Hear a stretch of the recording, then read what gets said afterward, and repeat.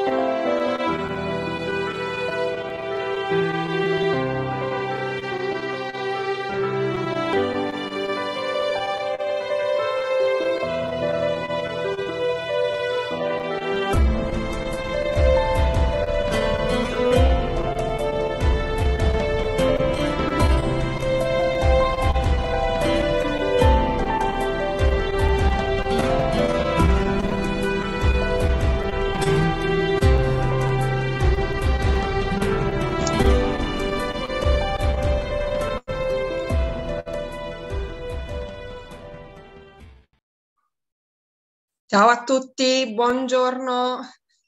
Buongiorno. Allora, scusatemi per uh, il mio raffreddore, ma questa mattina mi sono svegliata con questo fedele compagno e quindi avrò una voce un po' così. allora, e oggi andremo avanti con l'argomento che abbiamo iniziato a trattare la scorsa settimana di come guadagnare con un bed and breakfast e oggi parleremo nello specifico della gestione dei bed and breakfast in forma imprenditoriale. Allora, iniziamo subito con la condivisione dello schermo. Ok, allora andiamo qui. Allora, eh, facciamo un breve ripasso di quello che è stato fatto la scorsa volta.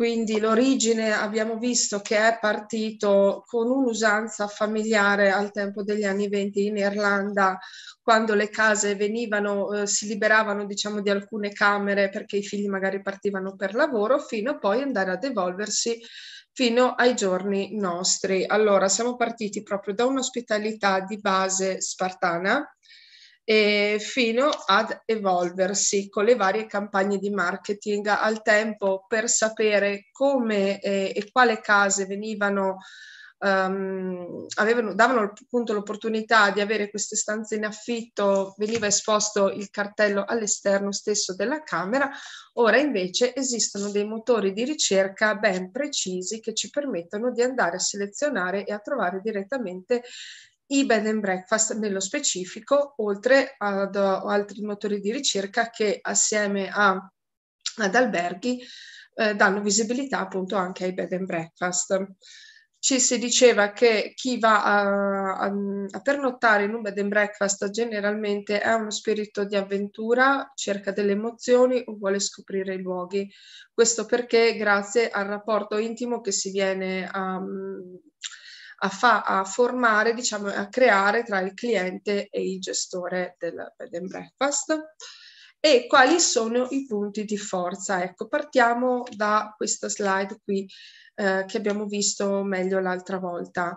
E abbiamo visto che ci deve essere un alloggio eh, specifico fatto in una determinata maniera, con, deve dare a rispettare tutte le norme edilizie, le norme igieniche, la colazione è meglio e preferibile fornire una colazione casalinga, um, piuttosto che dei prodotti confezionati.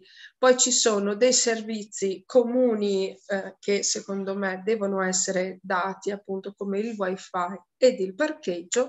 E poi abbiamo questa parte in blu. Come vedete i servizi extra le sale relax, le piscine, ehm, magari delle convenzioni all'entrata ai musei oppure addirittura un centro olistico. Ecco, questi sono i servizi che fanno la differenza. Allora, quando l'altra volta, non so se vi ricordate, avevamo visto un bed and breakfast, video di presentazione di un bed and breakfast uh, casalingo, ok? Quindi le persone che effettivamente un'altra famiglia accoglie, apre le porte di casa sua ed accoglie un'altra famiglia e eh, sì, magari il sito è fatto bene perché comunque il, mh, il tecnico che l'ha creato è stato molto bravo, eh, la camera carina, addobbata, eh, però è, è, chiaro ed è palese insomma che si tratta di un bed and breakfast saltuario, quindi eh, che non viene gesta- gestito in forma amministrativa con la partita IVA, ma viene gestito con la famosa ricevuta di prestazione occasionale la, sulla quale deve essere apposta la marca da bollo di 2 euro per i valori superiori a 77 euro, un po' diciamo le regole dell'amministrazione. Con questa formula qui, eh, noi eh, cosa possiamo andare a fare se gestiamo un bed and breakfast in, appunto in forma così casalinga? E possiamo andare magari a metterci su Booking, possiamo andare a metterci su Airbnb, su Expedia, possiamo andare a, a inserirci proprio su, su, quei motori che sono specifici per la, ehm, per la scelta e la, la, ricerca dei bed and breakfast, come può essere bedandbreakfast.com, insomma ce ne sono vari ed alcuni. Però se invece noi decidiamo che dall'analisi che abbiamo fatto vogliamo eh, proporre ai nostri clienti qualche cosa in più e eh, realizzare attraverso la creazione del bed and breakfast proprio la, um, la, nostra attività imprenditoriale, cioè farlo veramente come lavoro, a quel punto dobbiamo investire dobbiamo investire molto su quello che sono le, uh, le, materie che verranno utilizzate, su quello che sarà la pubblicità e sui punti di forza. Ecco che a questo punto quello che quest- in questo schema risulta una parte marginale dovrà essere quantomeno uh, in un bed and breakfast gestito in attività imprenditoriale eh, sviluppato e potenziato affinché la percentuale vada a colpire, diciamo così, uh, il blu e il giallo. Ok? Cioè dobbiamo proprio dare, eh, dare qualità a quello, al servizio che noi andiamo ad offrire. Io vi ho messo qui delle fotografie di un bed and breakfast come potete vedere, l'altra volta vi ho detto no, che sia, ci siamo evoluti dall'idea originale di un bed and breakfast fino a, ad avere strutture che effettivamente possono andare ed essere concorrenti di, anche di, di alberghi. Questo perché ehm, cioè voi immaginate di entrare qui, questo si, ehm, è un boutique bed and breakfast, cosa vuol dire? Un bed and breakfast di, di elevato qualità, di charme, perché? Perché lo, lo vediamo da, da, noi, no? Cioè, guardate queste fotografie, eh, subito vi, vi arriva l'impatto che non si tratta di una cosa gestita così alla buona e di maniera casalinga, perché eh, è tutto estremamente perfetto. Già il fatto del fare una foto di questo tipo sono foto professionali, vuol dire che si è deciso di investire e di andare a pagare un fotografo affinché venga a farci delle foto uh, di un certo tipo. Quindi, prima di tutto, quando noi decidiamo di andare a gestire un bed and breakfast in forma imprenditoriale, dobbiamo eh, assolutamente tener conto che una parte del budget di destinazione dovremo metterlo nella campagna di comunicazione, marketing e oltre a questo dovrà essere um, utilizzato materiali di qualità e di design, dare una, al, un arredamento di prestigio, la location, anche questo è importante perché um, in questo particolare caso di questa fotografia che stiamo vedendo, se io vi faccio vedere le foto successive, vediamo, no, qua non c'è, allora dopo le vediamo direttamente dal sito. Comunque questo è un bed and breakfast che si trova a Venezia. Io ad esempio questo non lo conoscevo, poi facendo delle varie ricerche sono capitata e ho deciso di presentarvelo proprio perché secondo me va a rappresentare e a chiarire perfettamente l'idea di come deve essere un bed and breakfast in attività imprenditoriale. Allora, un'altra cosa, se voi vedete la scelta del target della clientela. E anche qui è molto importante proprio perché eh, va a... Mh, mm, scusami, vedevo in chat che mi... quanti BNB gestisci? No, io ne gestisco uno, poi sono...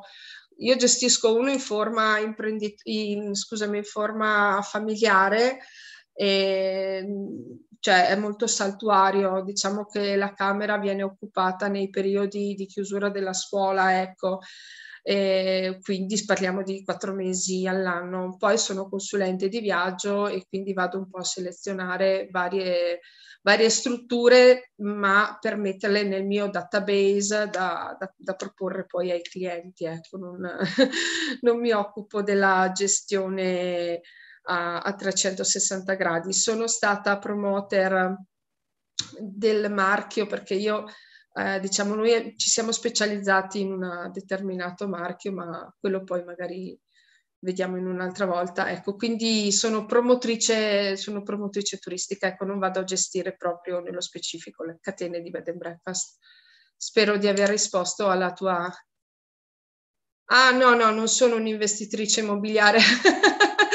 no, Giuseppe, mi, mi dispiace, no. no, no. Ok, allora, chiusa questa parentesi, andiamo avanti con la presentazione. Scusate, un attimo. Ok, allora, quando si parla di location, guardate, uh, guardate un attimo questa, um, questa fotografia. Cioè, io non so dove ci si trova, non so il nome della casa, però so che si tratta e riesco a capirlo guardando la foto, si tratta di una struttura posta all'interno di una dimora d'epoca o di una casa con un particolare valore e pregio. Da cos'è che lo capisco? Beh, dalle statue di marmo che si trovano in giardino, insomma, perché eh, no, non penso che nelle case comuni si vada a trovare delle statue di marmo, insomma, e, ehm, e quindi già questa immagine io vedo un tavolo di questo tipo pre- preparato in una determinata maniera con i fiorellini con, eh, e capisco immediatamente che questa è una struttura di charme. Allora, un bed and breakfast di questo livello è gestito per forza di cose in attività imprenditoriale, non è un gestito un ma sì, a, a, affitto la camera che mi avanza una volta ogni tanto, ok? Andiamo a vedere un attimino per quanto riguarda l'esempio della tariffa e delle condizioni. Ecco, io ho fatto un copia e incolla ad esempio di quello che ho trovato sul sito del bed and breakfast, delle fotografie che abbiamo visto prima, e andiamo un pochettino a capire di che cosa si tratta e come andare a leggere. Allora, la nostra migliore offerta include il nostro prezioso servizio di portineria personale. Ecco, questo non l'ho scritto io, eh, ho fatto il copia e incolla di quello che c'era nel loro sito. Quando io cliente vado a uh, leggere una cosa di questo tipo, mi salta immediatamente all'occhio che cosa? Che loro vogliono farmi capire che hanno un servizio di portineria personale, quindi o c'è un concierge o una persona comunque di riferimento, il cui magari io ho il numero di telefono o, o e, e, quella posso mettermi d'accordo, dire guardi arrivo per le ore tal dei tali e lui sarà lì ad accogliermi. Ok? E, eh, e, quindi anche quando noi andiamo a creare le nostre tariffe, eh, dovremo andare a evidenziare proprio come fanno loro i punti di forza e questo sicuramente è un servizio. Questo fa parte dei servizi extra dei quali vi parlavo prima. Poi vabbè, l'internet wifi e quello ci sta, e una deliziosa colazione. Vedete proprio quando mi prima parlavo della comunicazione, di quanto sia importante utilizzare le, eh, una descrizione giusta, ecco, le parole, usare le parole, soprattutto quando si va a scrivere un'offerta è importante perché se noi telefoniamo a voce ovviamente ci si capisce meglio. Eh, se però io vado a leggere posso interpretare in una maniera piuttosto che in un'altra. Ecco, quindi loro mi dicono guarda la nostra colazione è deliziosa, poi ovviamente sarà giudizio soggettivo delle determinate persone che andranno lì confermare o meno questa cosa e magari appunto informandosi prima eh, su uh, dove uh, su, sui vari siti di recensioni come può essere TripAdvisor o Booking o quant'altro. Ecco, allora io ap- apro una parentesi sul discorso recensioni.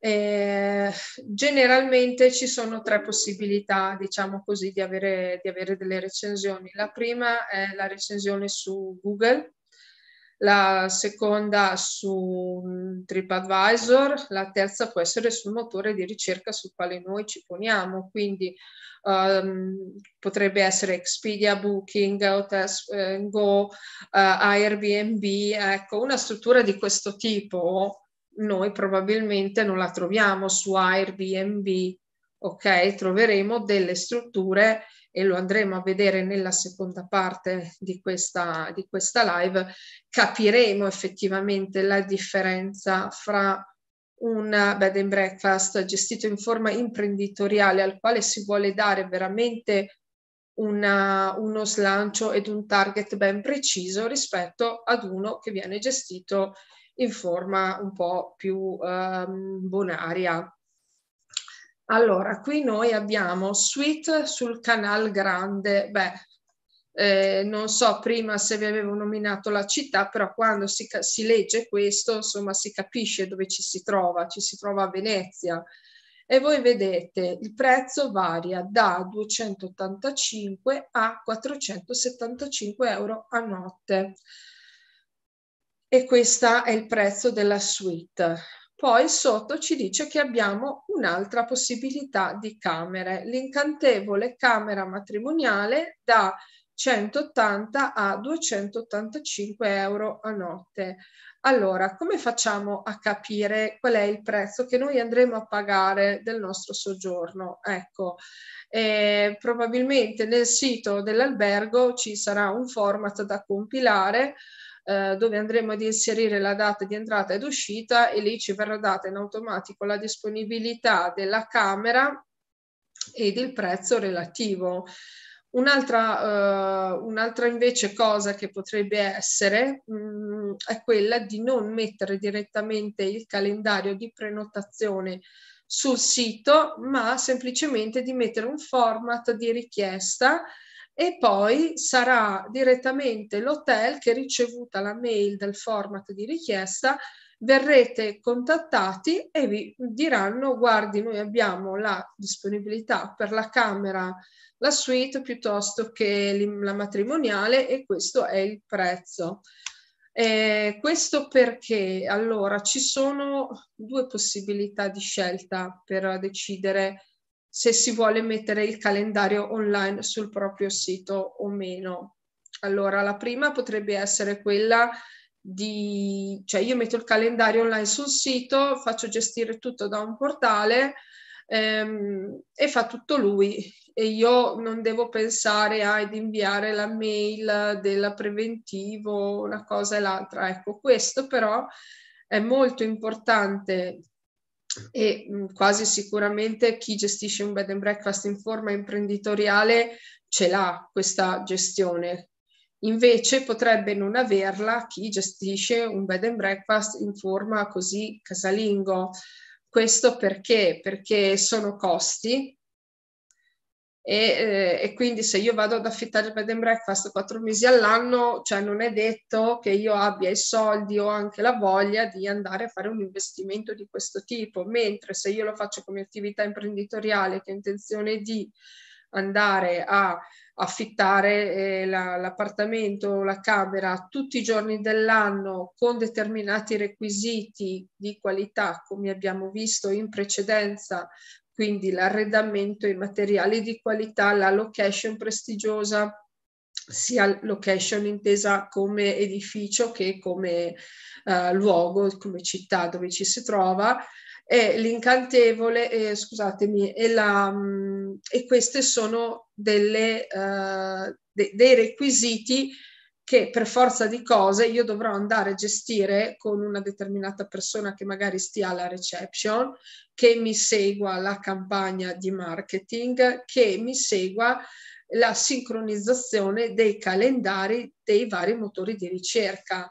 Ecco, questo può essere un altro uh, punto, perché se noi ci mettiamo su Booking, su Airbnb, su TripAdvisor, su, eh, però ehm, poi magari riceviamo la prenotazione da una parte e contestualmente si va a prendere dall'altra. Cosa succede? Succede che si va in overbooking. Overbooking vuol dire che noi riceviamo più prenotazioni della disponibilità reale di cui noi possiamo dare. Ecco, e quindi il fatto di avere un programma, un sistema informatico che in automatico nel momento in cui io ricevo una prenotazione da un uh, determinato sito, immediatamente va a sincronizzare tutti i calendari di tutti gli altri siti, di tutti gli altri portali nel quale io sono. Ecco, e quindi questo è sostanzialmente la prima cosa, il primo diciamo lato vantaggioso dell'inserire il calendario di prenotazione direttamente sul sito. Ovviamente questa scelta, ribadisco, deve essere spalleggiata dalla scelta di uh, avere um, un investimento e un sistema informatico che va a gestire il tutto. Ecco, questi sistemi informatici non sono neanche particolarmente eh, allora, non sono né troppo costosi né troppo economici, dipende, insomma, ce ne sono un po' di, di vari tipi, ecco, quindi eh, la, la, addirittura, ad esempio, TripAdvisor, piuttosto che Booking, piuttosto che anche addirittura Airbnb e così, Uh, quando noi andiamo ad inserire la, la, nostra disponibilità, mi dice guarda, mh, mm, vuoi andare a collegarti, i, a fare la sincronizzazione dei calendari? E dice sì, ecco che quindi ci sarà tutto un procedimento, un passaggio da fare e, e con questo diciamo una, può essere una soluzione per andare a risolvere questo problema di avere un gestionale perché gli stessi siti ci danno l'opportunità di, eh, di, gestire loro questo passaggio. Ecco, quindi eh, è bene quando si decide di, fare una, di mettere online un calendario di valutare appunto di fare il discorso della sincronizzazione per evitare cosa che magari ti arriva la, la prenotazione da parte del, um, del, cliente da Booking, però non sono arrivata ad andare ad aggiornare su Airbnb e magari Airbnb mi fa la prenotazione e, e adesso cosa faccio? Non ho la camera, insomma, ecco, quindi mi raccomando, fate sempre molta gestione nella prenotazione.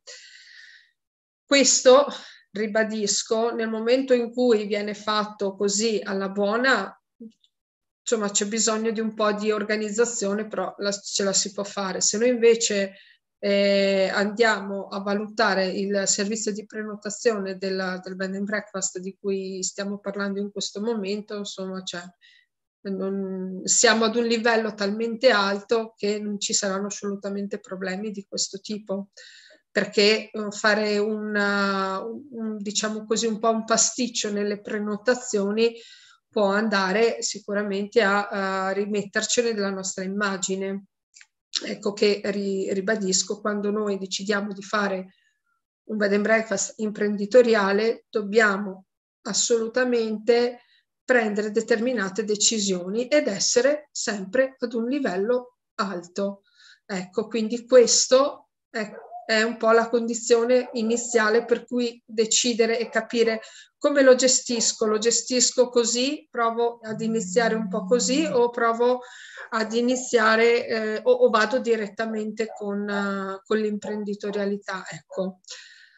E andiamo avanti. Poi per quanto riguarda allora sotto si richiede un soggiorno minimo di due notti. Ecco, allora anche qua eh, le tariffe dei bed and breakfast, ma anche degli alberghi in realtà, eh, mi dicono esattamente quante notti noi dobbiamo pernottare, cioè loro mi dicono io per una notte la camera non la do, te, mm, eh, ti richiedo un minimo di due notti. Ecco, questo, la durata minima del soggiorno eh, è indipendente dalla forma che si vuole tenere, sia che sia in forma familiare, sia che sia in forma imprenditoriale, non cambia niente, è solamente una scelta personale eh, che uno decide di applicare. Questo perché si richiede il minimo di due notti. Allora, eh, quando noi presentiamo la camera eh, a, ad un ospite, la camera ovviamente va pulita, va igienizzata, va le, le, cioè deve essere mm, veramente perfetta, no? E deve essere perfetta la camera sia per una persona che si fermi una notte, sia che ne si fermi due notti, tre notti, una settimana. Quindi eh, cioè, capite anche voi che mh, pulire la camera e fare tutto un lavoro che c'è dietro di igienizzazione, sanificazione, soprattutto in tempi di Covid e quant'altro, per una notte è più il costo dell'operazione di manutenzione e gestione della camera che il guadagno.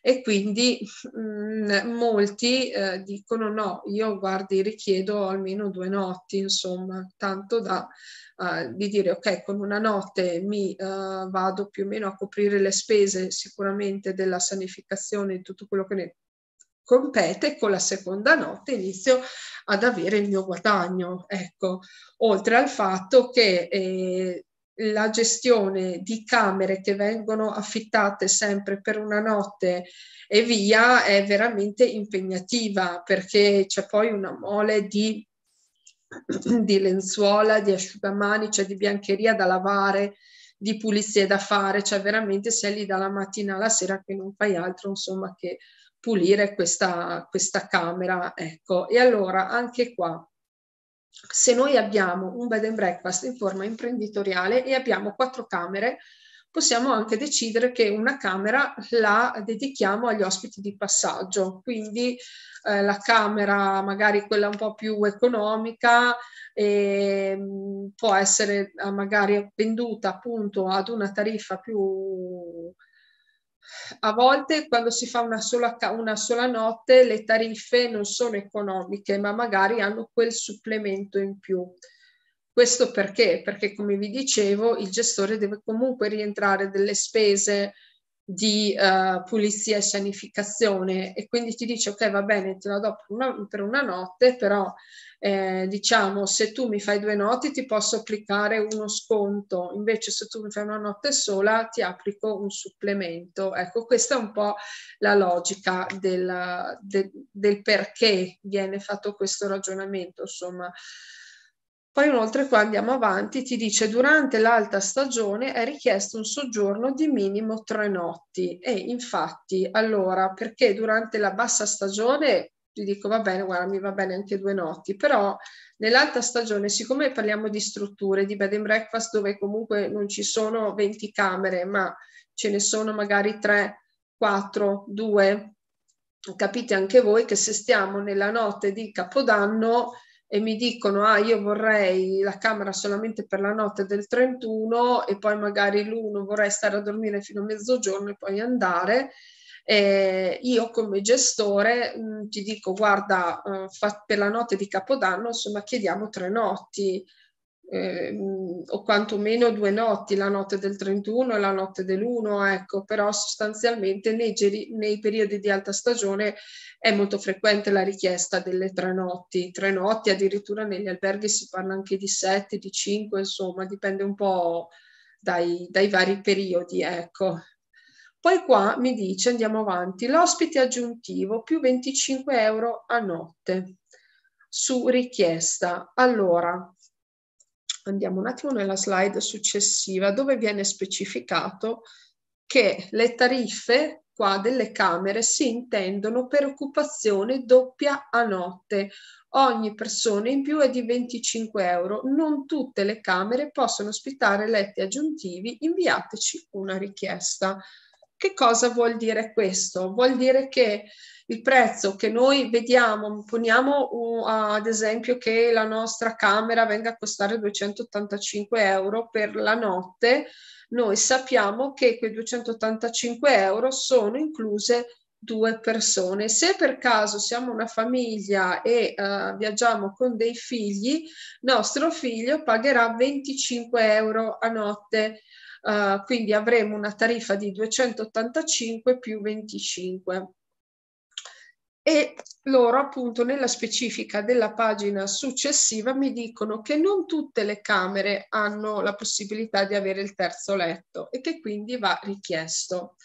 Ecco, e um, appunto anche qui insomma bisogna fare sempre molta attenzione quando noi andiamo a compilare la richiesta di prenotazione perché potrebbe essere che ci venga data la prenotazione per la, la Camera, gene, generalmente i prezzi vengono corretti, però potrebbe essere quello che ci dica anche guardate il prezzo è eh, 285 euro il letto aggiuntivo da pagare in loco al momento dell'arrivo perché magari noi decidiamo di pagare subito con la carta di credito. Ecco quindi fate sempre molta bene attenzione alla descrizione del prezzo di cosa vado a includere Qua sotto ti dice che vengono accolti gli ospiti dalle 9 alle 21, quindi l'orario, questo perché? Perché seppur vero che uh, stiamo parlando di un bed and breakfast di qualità, comunque sia dove c'è l'accesso di servizio, di servizio di portineria personale,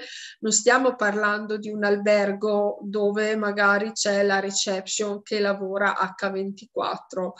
Eh, abbiamo degli orari che sicuramente è una fascia molto ampia e, eh, e, che copre bene o male un po' diciamo tutta la, la, giornata. Loro ti dicono noi siccome siamo, ripeto, un bed and breakfast di qualità e quindi uh, come si diceva prima, no, è stata la prima cosa che hanno indicato, che hanno il servizio di portineria personale sotto riprendono questo argomento e ti dicono che possiamo accogliere arrivi tardivi dopo le 21 ed è previsto un supplemento di 30 euro. Cosa vuol dire? Che io dovrò assolutamente accordarmi con il cliente per capire con lui un orario indicativo o dare un mio numero di, di, riferimento affinché il cliente possa chiamarmi ed avvisarmi nel caso in cui eh, dovesse arrivare più tardi perché magari ha avuto un imprevisto o, o c'era del traffico. Ecco, questo servizio io te lo offro però ovviamente è un servizio che esula da quello che è la tariffa standard e quindi ha un suo prezzo che in questo caso è di 30 euro. Allora, eh, i termini e le condizioni. Non so se qualcuno mi aveva già seguito per quanto riguarda il mondo dei viaggi, però la normativa italiana prevede che noi dobbiamo eh, dare molto in chiaro nello specifico quali siano i termini e le condizioni delle tariffe che vengono proposte. Ecco che di seguito quindi c'è tutta la descrizione. Che cosa mi comprende la tariffa che abbiamo visto prima? La colazione, l'IVA e la tassa di soggiorno invece è esclusa. In, uh, in, tutte le tariffe che noi vediamo online, la tassa di soggiorno è sempre una, ta- una tassa, un, un prezzo che viene pagato a parte e dovrà essere pagato in loco. Questo perché la tassa di soggiorno è una tassa comunale che noi eh, come ricettori, sia che viene, l'ospitalità viene svolta in ambito imprenditoriale che non, questa tassa di soggiorno è sempre dovuta. È il comune che fissa l'importo e ogni quattro mesi attraverso il portale deve essere effettuata la dichiarazione ed il successivo pagamento. Ovviamente se il cliente mi prenota ed acquista una tariffa magari non rimborsabile, eh, però poi per n motivi non si presenta, ovviamente questo eh, costo della tassa di soggiorno non viene applicato al cliente perché il cliente fisicamente non si è trovato in quel luogo in quel determinato giorno ed orario. Eh, ecco quindi il motivo del per cui non è mai inclusa nel prezzo, ma è sempre pagata a parte nel momento in cui il cliente eh, si, si presenta. Mettiamo caso che il cliente decide di stare una settimana però per qualsiasi motivo poi uh, va la, cioè anticipa la, la sua partenza, la tassa di soggiorno corrisponderà ai giorni effettivamente utilizzati e pernottati. Poi vabbè, andiamo avanti, la connessione ehm, internet wifi è gratuita, anche qui non è scontato, adesso in molti hanno, cioè offrono questo servizio a livello gratuito, però se pensiamo di trovarci in un posto, ad esempio come a Cuba, dove le, la, il wifi, la linea internet sulle isole è molto mh, difficoltoso questo collegamento ed oltre ad essere difficoltoso vuol dire che è anche costoso. Ecco che quindi generalmente ti dicono io ti do il wifi qui nella sala colazioni, però la linea wifi non arriva nella tua camera, Mm, perché eh, adesso per un bed and breakfast è difficile perché mm, parliamo di una struttura mm, ampia, però se invece di, parliamo di, una, di, un albergo, allora mh, capite bene che magari la reception è qui e la vostra camera si trova a 200 metri più in là e può essere che voi mh, dite, ok, io voglio avere il wifi anche in camera, però dobbiate pagare un supplemento. Ecco perché viene sempre specificato che la connessione internet è um, gratuita oppure a pagamento.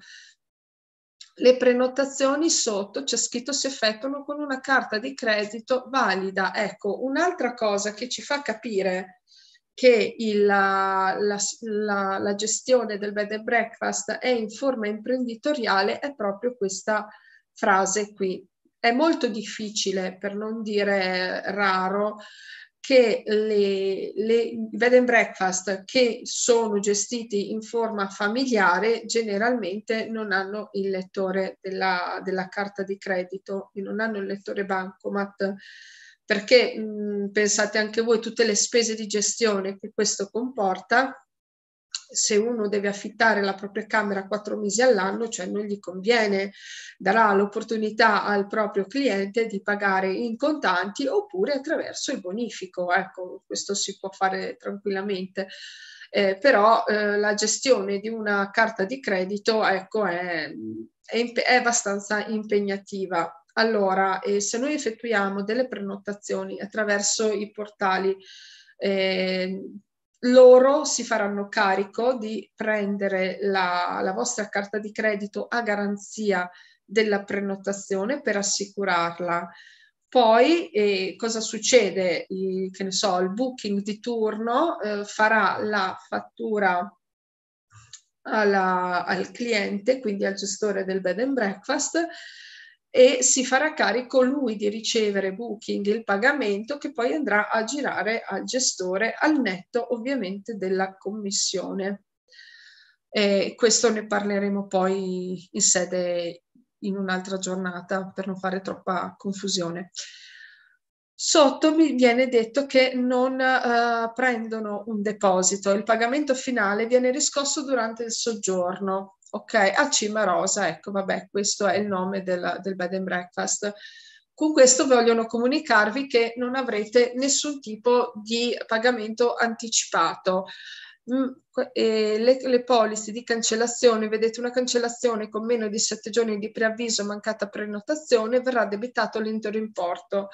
Ecco, loro vi dicono che tu puoi cancellare fino a sette giorni a livello gratuito e non devi pagare un anticipo. Se però cancelli oltre questa tal data, ti verrà addebitato uh, in questo caso l'intero importo. C'è chi invece decide di applicare una sola notte, due notti, questo un po' dipende dalle varie strutture.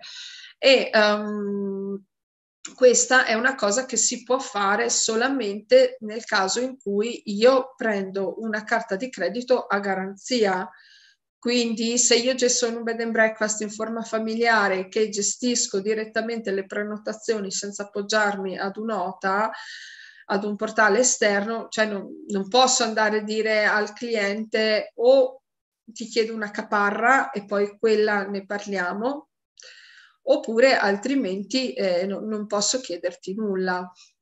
La, poi vabbè, andiamo avanti qua a vedere. Ok. La gestione del sito della pubblicità. Allora, adesso andremo a visitare un attimino assieme il, questo sito, però deve essere assolutamente un sito completo e curato.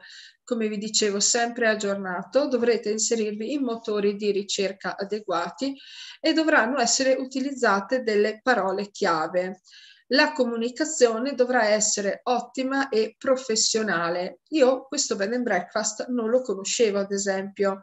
Sono andata a uh, indicare su Google i bed and breakfast uh, più, più belli, bed and breakfast di qualità, bed and breakfast di charm e è comparso questo. Allora, eh, non so se avete mai potuto seguire delle, delle live di formazione appunto magari che propone anche Fabrizio sulla, sui blog, sulla gestione dei siti, la comunicazione e quant'altro, però le parole chiavi sono molto molto importanti.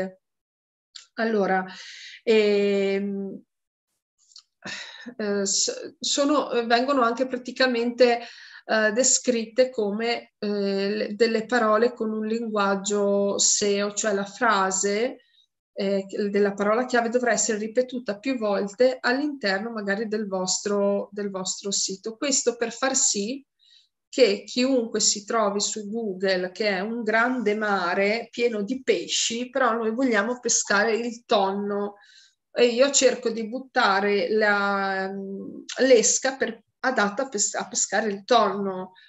Non, non, quindi la, la, le parole chiave funzionano un po' così, cioè funziona da esca per andare a recuperare quello che mi serve legato a quella parola.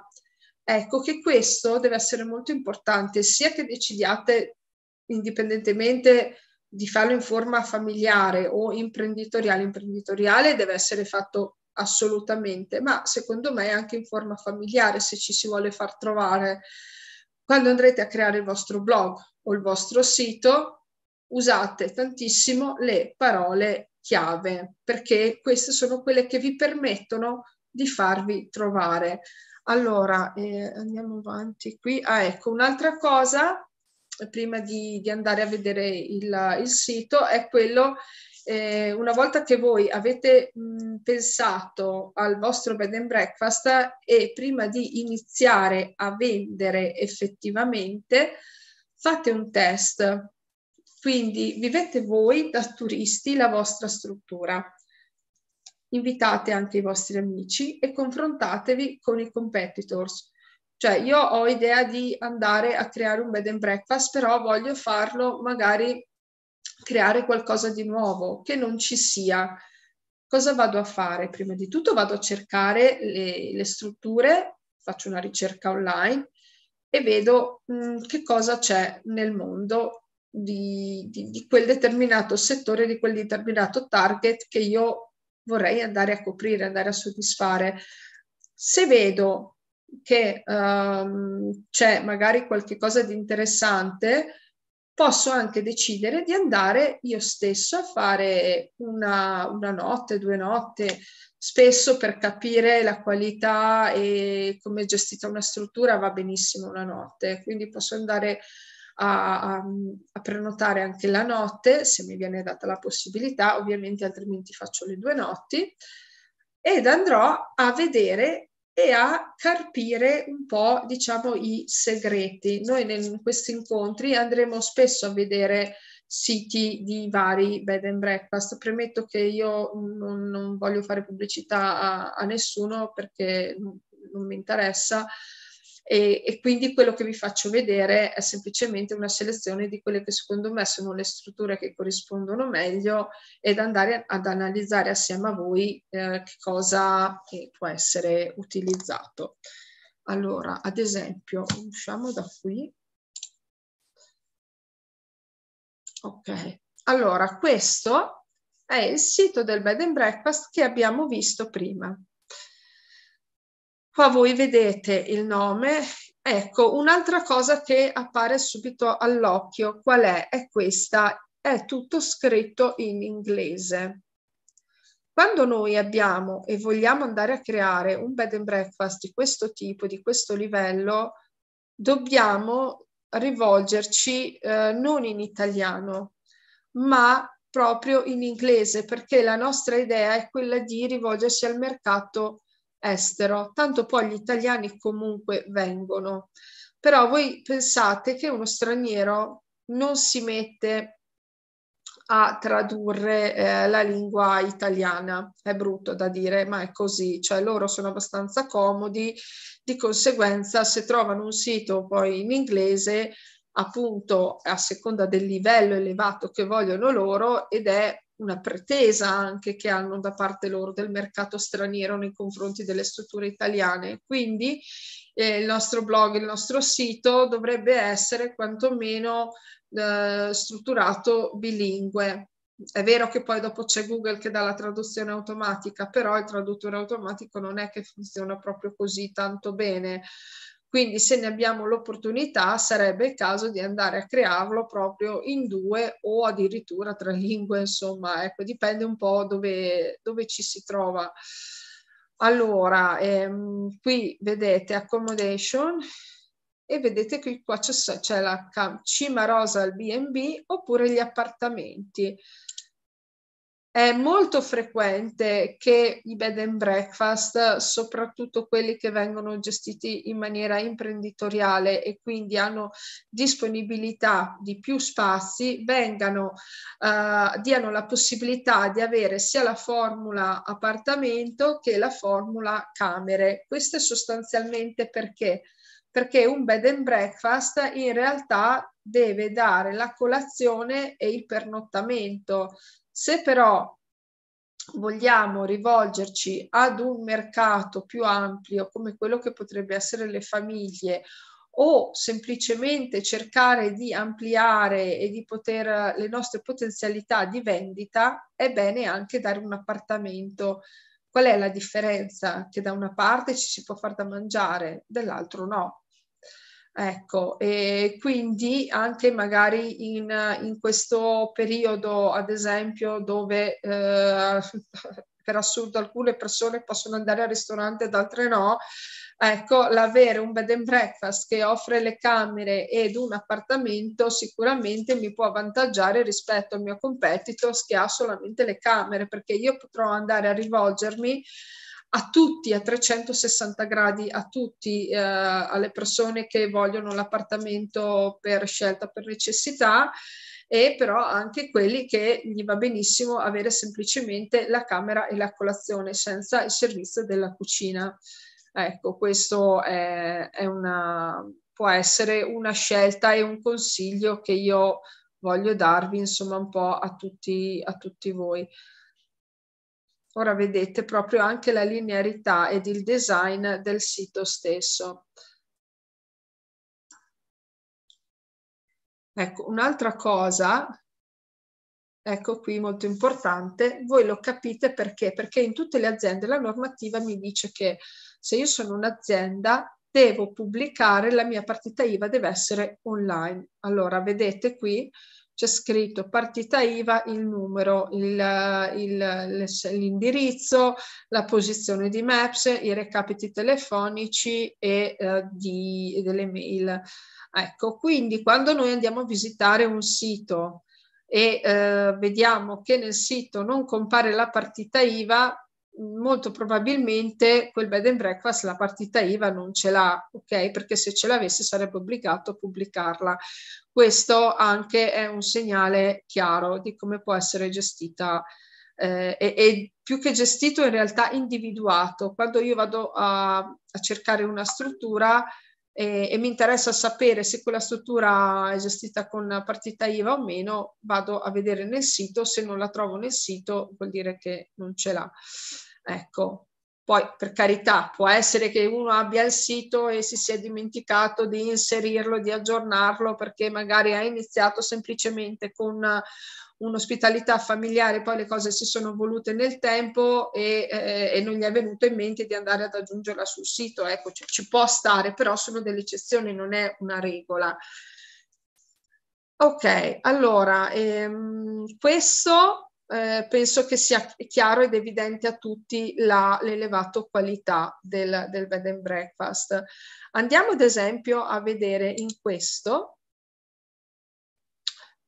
Qua invece ci troviamo, giusto per darvi l'idea no, ed il confronto delle, eh, di, di, quello che è un bed and breakfast gestito in forma impre, mm, imprenditoriale, quello che abbiamo visto prima, ed in forma normale, quello che vediamo adesso. Cioè, come potete vedere qua dalle foto, la struttura è molto carina, particolare, eh, in stile, ecco, però cioè, si capisce ed è palese che stiamo parlando di una struttura che molto probabilmente la partita IVA non ce l'ha.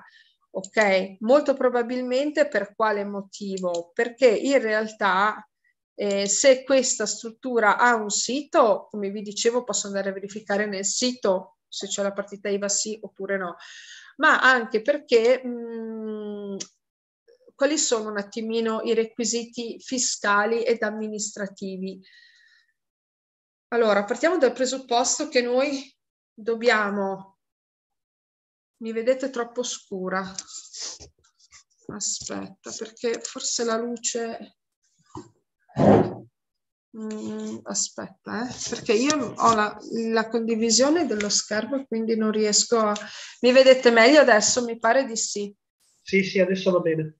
Adesso va bene. Okay. No, adesso è di nuovo scura. Adesso di nuovo scura. È perché sei con la luce contro luce, quindi ah, se abbassi la videocamera contro... rileva la luce in un modo. Ecco, ah, adesso si sta, ecco così. Così? Vediamo, aspetta. Uh, sì, così va abbastanza bene va abbastanza bene. Ok, perfetto. Ecco, quello che vi dicevo, eh, ci sono dei principi fiscali da dover ehm, comunque sia eh, rispettare. Cosa vuol dire? Che nel momento in cui io vado a eh, parto diciamo con una gestione familiare perché la mia idea è di partire con una gestione familiare, però poi le cose vanno talmente bene che io mi trovo a gestire eh, anche questa struttura che è bellissima, per carità, molto carina, molto bella, e ad avere pernottamenti frequenti, perché per fortuna la mia struttura piace, si vende bene ed ecco che eh, non sarà più quei 3-4 mesi all'anno, ma inizierà ad essere anche magari 10 mesi all'anno. A quel punto io sono obbligato a gestire la mia struttura con partita IVA, perché il principio di saltuarietà che viene indicato dalla normativa non viene più rispettato e quindi eh, deve essere per forza di cose adeguato. Noi dobbiamo essere resilienti, l'altra volta vi parlavo che il requisito essenziale è la resilienza, non solo per la trasformazione e la e, come dire, eh, la trasformazione nostra personale delle esigenze della famiglia, ma deve seguire anche la trasformazione economica. Perché se noi siamo talmente bravi, lo gestiamo bene, uh, ci troviamo in un punto strategico, magari in pieno centro a Milano, in una città o in una, una, zona particolarmente rinomata della montagna, ad esempio, che ne so, Cortina, piuttosto che altri, altri posti, e, ehm, e, c'è sempre questo via vai e io non, non posso diciamo fare finta di, di, non vedere devo obbligatoriamente aprire la partita IVA insomma. Ecco eh, magari tanti si chiedono ma c'è un limite di reddito? Ecco allora siccome queste sono cose che continuano un po' a, varia- a variare, eh, è sempre bene chiedere conferma e delle informazioni ai vostri commercialisti questo perché la normativa ovviamente cambia, poi ci sono delle cose, però diciamo che per i bed and breakfast eh, c'è un reddito annuale, cioè dai insomma ci può stare fino ai 10.000, eh, 15.000 ecco di, di reddito annuale. Eh, se andiamo oltre, eh, a quel punto non è più saltuario, ovviamente la cosa è evidente E anche lì dipende appunto dal numero delle camere che abbiamo, da quanto eh, lo, lo vendiamo, quindi dal prezzo che viene applicato e dalla durata dei nostri pernottamenti. Ok? Ecco, quindi questa è un po' la, la linea da, da seguire. E per quanto riguarda la gestione economica, visto che abbiamo ancora qualche minuto, interrompo la condivisione così magari mi rendo conto anch'io. Ok, scusate. Eh. Ok. Ho cambiato la postazione. E per quanto riguarda la gestione economica di un bed and breakfast in forma imprenditoriale, ovviamente ci dovremo rivolgere eh, per forza di cose o se siamo noi in grado di, di seguirlo la contabilità di una partita IVA e quindi eh, si potrà gestire ed iniziare con un regime che adesso viene chiamato diciamo il forfettario, ecco perché il vecchio regime dei minimi ormai non, non esiste più. E eh, dovremo aprirci la nostra posizione IMSS, se abbiamo dei dipendenti dovrà essere aperta la posizione INAIL, ehm, dovrà essere pagato il commercialista, pagare i contributi, eh, per quanto riguarda la, la, tassazione, appunto se si rimane nella, nello standard dei 60 o 65 mila euro di, di, fatturato all'anno si potrà appunto eh, aderire al regime dei forfettari che per i primi cinque anni, quindi una nuova apertura di una nuova partita IVA, eh, viene applicato il 5% di, di, tasse e poi si scatta con un 15%. Ecco, queste però sono informazioni che mi raccomando verificatele sempre con i vostri commercialisti, oppure eh, altrimenti decidere di uh, entrare nel regime contabile classico, normale. Ecco, questo dipende un po' dall'analisi dei costi, da, da cosa conviene fare, cosa non conviene fare.